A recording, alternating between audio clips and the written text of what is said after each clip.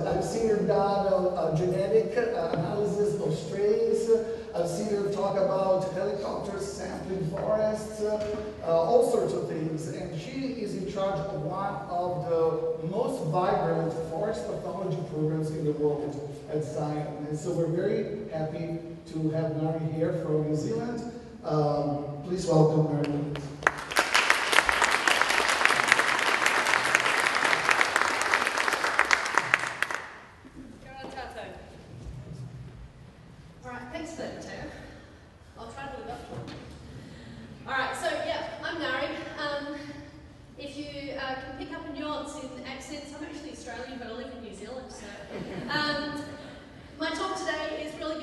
overview of what's happening down under, um, but if I was to be honest, this is more what it looks like, um, in that we're going to get a big overview of what's happening in New Zealand and a little bit from Australia, because, you know, they're not here. so, um, want to acknowledge the team. Um, as Matteo said, we do have quite a large team um, down in uh, New Zealand now, um, and headed up with Rebecca McDougal, Preeti Panda and Stuart Fraser, at uh, Scion with me. We've got a range of national collaborators. Um, we work a lot with Mana Whenua groups, who are the iwi tribes um, uh, in New Zealand, and then a range of you all um, as international collaborators as well. Some of these names you might recognise because we've sent them north. Um, Preeti, and Simran have all spent some time at OSU over the last four or five years, and Shannon, um, as Matteo said, uh, has come up to UC Berkeley. So it's nice to be um, amongst family. Recognising our organisations, they pay our wages and we're grateful.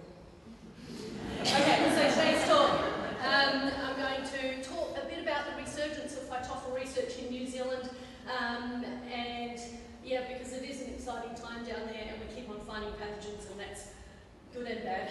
Um, I'm going to talk about kauri dieback because it's a passion. We're going to talk about red needlecast because some radiata pine productive forests pay the wages as well. Um, phytophthora in nurseries becoming a big uh, awareness um, for us and we're just really uh, starting to catch up. Um, I want to talk about some newly recognised species, understanding the global distribution of Phytophthora species because as Matteo said that's really important for our regulators and I agree that taking it down beyond species is also very important. I'll talk a bit about the Healthy Trees, Healthy Future program, um, which I've been honoured to um, lead for the last uh, almost six years. And I really love the fact that we're talking here in a conference that's looking at healthy trees in a world of phytophthora um, because what we discovered when we went into the Healthy Trees program is that talking about disease all the time is not necessarily good in the social science sphere. So let's talk about healthy plants and the problems that we need to deal with. Um, we'll also pick up a few highlights from across the ditch in New Zealand that's referring to Australia. So, whoops, wrong way. Go that way. Cool. Alright, so New Zealand actually has a really good history of phytophthora research. In the 1970s, I look back in the heyday, and so uh, thinking of Sarah's talk yesterday, where we, we need to pull in the history of, of the systems that we work in, um, this is really where it all started uh, for phytophthora in New Zealand led by the two Franks. We have Frank Newhook and Frank Podger. So Frank Newhook was the first um, professor of pathology at Auckland University, and Frank Podger was actually an Aussie. Um, and so he went over and worked with Newhook for a while, and they produced a whole heap of papers in the 1970s. Um, but during this time, there was a lot going on. Um, Newhook and Podger were debating um, the ins and outs of Phytophthora cinnamomi, um, but it was also of what is now known as Phytophthora agatha causing kauri dieback uh, were made, way back then they were actually also isolating Phytophthora kernoviae from soil. We just didn't realise until Clive decided to describe it. But there's a few really cool snippets in here. So, um, way back when, they were re recognising that Phytophthora cinnamomi had a wide range of um, native plant hosts in Western Australia, um, hundreds of species infected, um, that was already devastating complex woodland um, and heath communities and over 100,000 hectares in WA, but over in New Zealand it was a very different story. So even back in the 1970s, they were starting to contrast um, you know, what these pathogens were doing and why something that was so devastating over in the West was not doing so much over in the East. So then, things went a little bit quiet. So Newhook continue to um, try to inspire people to work on Phytophthora, but it really, uh, Phytophthora cinnamomi really doesn't cause much disease in New Zealand, so it's a bit hard to drum up support. Until between 2005 and 2008, two things happened. Um, one was uh, the recognition of uh, Phytophthora as the cause of Kauri dieback, and the other, around 2007, at the same time as Chile was observing um, Phytophthora pinifolia causing needle um, casts over there, we started to realise that um, red needle cast in New Zealand was being caused by another Phytophthora as well. So they brought me in. Right, we'll get to that. So first I wanted to start with the majestic, healthy tree. So here we have Tane Mahuta. Tane Mahuta is the lord of the forest, and he is indeed majestic. Um, you may see down here, there's a person who's standing about 20 metres in front of Tane. And so when you're standing on that platform and you look up, all you see is tree. Um, and he is beautiful. So just to give you a bit of idea of scale, Tane stands at uh, 51 and a half metres tall. Um, his diameter is 4.5 metres um, in girth. And um, I will ask you again at the end, what would you do if there was Phytophthora agathidicida within 20 metres of the base of this tree? so, Phytophthora agathidicida, the cause of Kauri dieback. Um, typically, it's associated with these large bleeding lesions at the base of the tree. Um, once we get to that point, this tree is pretty much cactus, um, and they die very quickly. Kauri is um, iconic in New Zealand, so it's only present in the very north um, of the country and um, sort of peters out down here. For anyone who's been to Rotorua, which is where I'm from, it's down here. Um, and so it's got a very restricted um, range and a lot of that area has been cleared. So we're down to less than 1% of the original um, resource of Kauri. Um, and you can see there, um, all of the red spots indicate where we have Kauri dieback. Now, one of the things that we've done within the Healthy Trees program um, is to start a screening program. And so uh, we've gone out and we've collected seeds, and we've started screening those um, using a typical flooding um, approach, and basically we wait until the trees start dying. So early results from that um, show that uh, across here we have uh, 25 families of Kauri, family defined by the seed collected from one tree. And um, we're screening them at 15 months of age, uh, and at that point um, you can see here that uh, following um, after 106 days um, post-inoculation, um, we have some family lines where we've got 80% of the individuals still alive, in contrast to somewhere we've only got five. So it's actually quite exciting that we're seeing that spread um, of phenotypic responses because that in indicates that there's something going on here. Now, so based on that, um, we have collected seed again in 2017. That experiment's still running, um, but we're starting to see a similar separation, which is pretty exciting. 2018, we actually went in a bit more targeted and uh, went into some stands that have a really long history of Kauri dieback, and we targeted the healthy trees um, within those stands um, in the hope that they've been through a round of um, field-based selection, um, and those are still growing up. They'll be inoculated in September. So year on year, we're stepping um, further towards uh, finding resistance. Now, with a little bit of excitement of these types of results, we decided to go all out this year and so I brought in the big guns. And I thought it was really interesting up at the nursery yesterday. They said, well, the only time we'll collect um, seed off the ground um, is when the trees are too big to actually, you know, get the seed. Well, our trees are big. We just send the guys up the top of them. So this year we got in a, a group of professional tree climbers, and these guys are so passionate about trees, it's just awesome. Um, and we set a pretty amazing task for them to um, collect right across the range um, of Kauri. So throughout all of this program, we're working with the, uh, the local iwi tribes, so the groups, and we work uh, side by side with the young people um, who grew up on that land. Um, and as part of this program, there's a big citizen science, like, you know, sort of push um, with our work that we're working with young kaitiaki um, or guardians and teaching them as we go. So a few things here, they get to climb up to the top of the tree. They usually smile when they get there once they're over the fear. Um, and we're collecting the cones directly from the tree, because one of the things with Kauri is that um, the seeds mature in March and they burst when they um, you know, uh, shed their seeds. So we have to get up there before they do that because we want to know who mama tree was. Um, so we collect straight from the tree. Um, royal we, I don't go up there. Um, but at the same time, uh, we're also collecting soils to uh, determine whether or not there's any uh, Phytophthora agathidicida uh, present. And I just wanted to out here that uh, working with this bunch of professional tree climbers, they have come up with some really awesome hygiene protocols for how to go about this. So you'll see here that they have got all of their gear slung up in the tree so that it never touches the ground. The equipment that they have to put on the ground gets put onto a tarp um, and they are really specific um, about their whole uh, protocol. Um, they got really worried that they're going from site to site um, this year and so um, the company uh, Biosense and Frederick um, here thought through the whole process and they went, no, we are not happy with just washing our ropes, we want to heat them.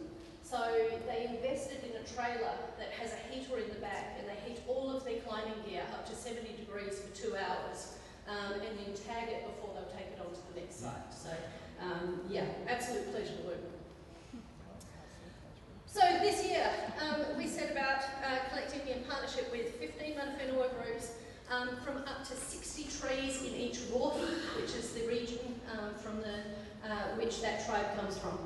Uh, where possible, we wanted to collect in clusters of at least five trees, just to give us some statistical robustness, um, with up to 12 clusters per rohe. Um, this would ena enable us to do a hierarchical analysis, if, like down the track when we actually do all of the screening.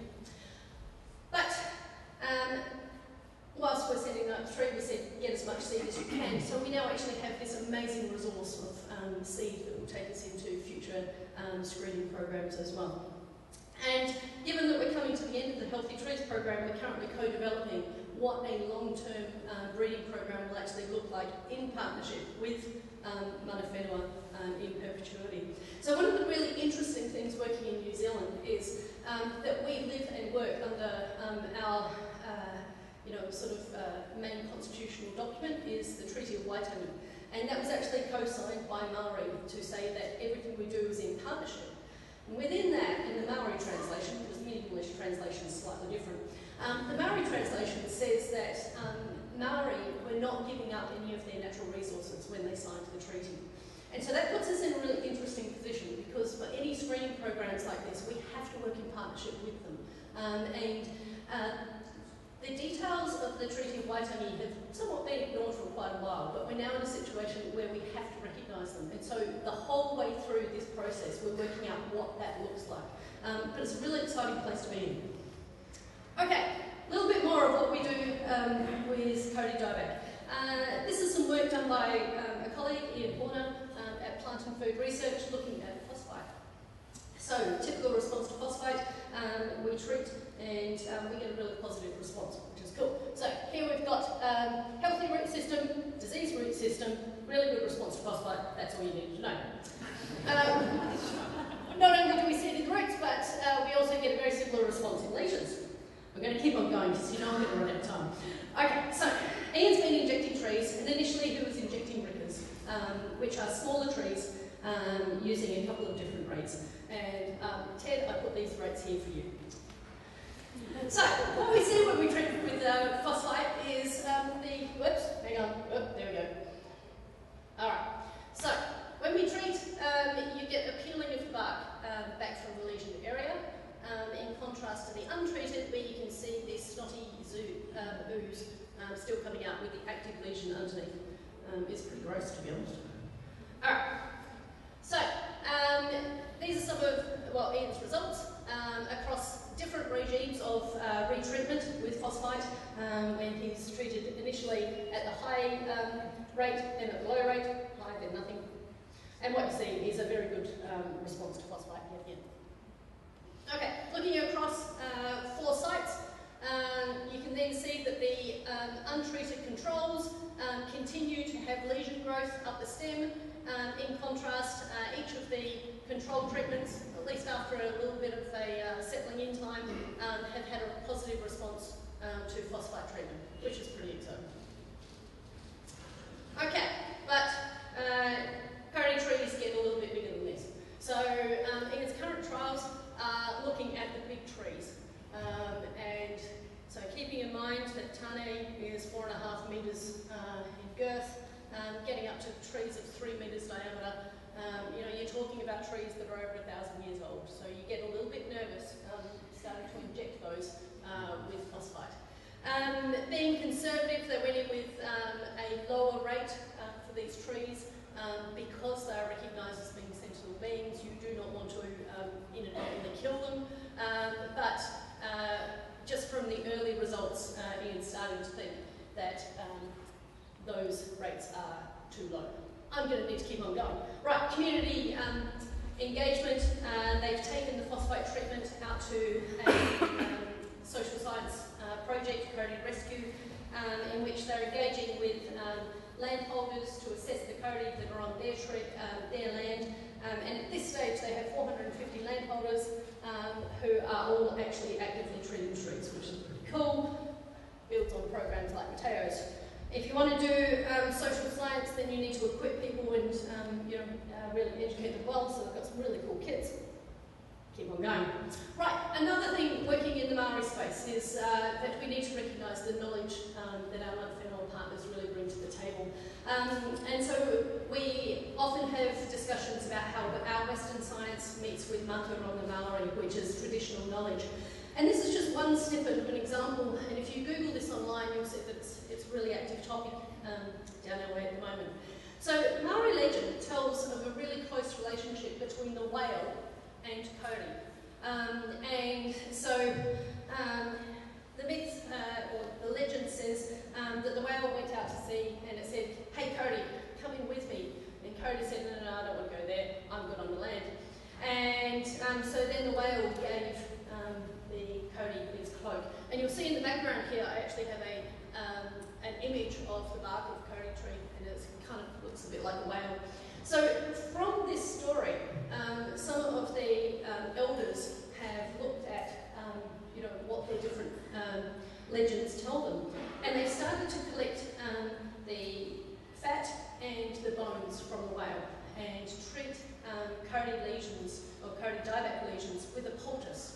Um, so thinking of the talk yesterday, I think it was Steve, um, you know, scraping back the lesions, pretty much they're scraping back the lesions, putting on a poultice, now, you'd be really cynical, you know, as a scientist and think, oh, you've got to be joking until you actually go and look at the literature and you see that, well, you know, some of our colleagues have seen that calcium, um, you know, has a positive response with uh, Phytophthora. So let's keep an open mind to the fact that actually these myths and legends might tell us something.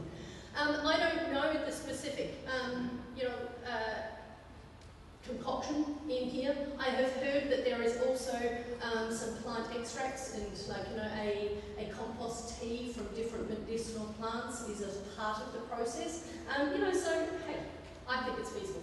Right, got to move on to red needle cast because it pays the bills. So, uh, red needle cast was first observed, uh, recognised officially in 2008, but you look back at history um, and the records, and maybe it was there in 2005, they just didn't know what it was. I'm so running out of time. Okay, um, we grow a lot of radiata pine um, in New Zealand. It's a problem when the needles turn red and they fall off. Um, trees without needles do not produce wood. So we've done numerous studies um, looking at this, and when we started to look into it, we found that, well, it wasn't just down here, it was actually up this way as well um, in that uh, Paul and Everett had described, uh, well, had isolated Phytophthora pluvialis and were in the process of describing it when we got into doing our work, um, and so we've been collaborating with them ever since. Um, So we've done a range of epidemiological studies. This is some work that's been finished off recently by Maria Gomez, uh, looking at the uh, rates of infection on resistant uh, genotypes all of our needles get infected, it's what happens afterwards that becomes interesting. So our resistant ones don't produce any uh, sporangia on the surface, whereas our susceptible ones do. This is obviously driving infection. Um, study has also shown um, the polycyclic nature of infection. So we get an initial uh, peak uh, after four days, and then at 21 days we're starting to get our second um, cycle of infection going. Read Maria's papers, they're great. Okay, we're also doing some RNA-seq um, analysis on that. Um, that's left to go. Um, Maria, also looking at uh, Douglas fir, um, has seen uh, an interaction between uh, Phytophthora pluvialis and uh, Swiss needlecast. And so um, this is uh, just about to come out um, in phytopathology. Uh, Simran did some population analysis on Phytophthora pluvialis, both uh, in Oregon and then also in New Zealand, suggesting that it is indeed introduced New Zealand. Um, we initially thought there's uh, two introductions, but there's very poor statistical um, support for this. So we've gone back and done a whole heap of GBS um, sequencing with a broader range of isolates, both from New Zealand and Oregon, um, and time's up, that's not good. Um, I came a long way, I'm going to take a long time. Sorry, so. Okay, so, um, yep, we're still doing some GBS analysis, watch this space. Phytophthora kernoviae. Um, as we've been looking for um, at Phytophthora pluvialis, we've noticed that kernoviae is also on radiata pine needles, causes slightly different symptoms um, in that we get a blight instead of a cast, slightly different epidemiology, um, and also different distribution. That's all really interesting. Okay, we've done a whole heap of Phytophthora genomics um, of the species that are interesting to us. Um, and having published them, people like Tyler come and use them, that's great. Um, but we've uh, been looking at kernoviae and where it might be from, um, and isolates that are in Chile. Um, but I'm also really curious as to whether or not we've put a monoculture host in front of an endemic pathogen down in New Zealand, and we're starting to select for um, the isolates, you know, um, onto that host. So based on that, we are doing a whole heap of resequencing of our Phytophthora kernoviae isolates to see if we've actually, um, you know, creating a problem, which is getting onto some of the points that Matteo was pointing out before, um, you know, of these um, artificial systems. And I, I, think we've got an issue um, in the captive space, but also in, you know, where we put a smorgasbord of um, yummy host material in front of pathogens, we change things as well. Right, we're also doing a whole heap of genomics because that's what you do nowadays. I put this up here for the dog. Um, we did a little bit of volatile analysis um, with Steve Woodward, who was visiting us recently, um, looking at volatile compounds produced on different phytophthora cultures. Um, over here we've got Phytophthora agathidicida, it's a soil-borne pathogen, infects parity. Over here we've got um, Kernoviae and Pluvialis, both aerial pathogens, um, you know, and I think it's interesting that these cluster out differently to a soil-borne pathogen, so there's something to think about. We've done a whole heap of breeding for resistance for um, red needle cast. The good thing is we found um, that there is uh, uh, some resistance, so we'll work on that. We've got a whole heap of chemical analysis. Um,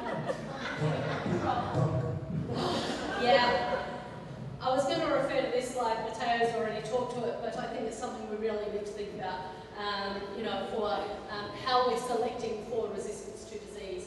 And with that, I will stop.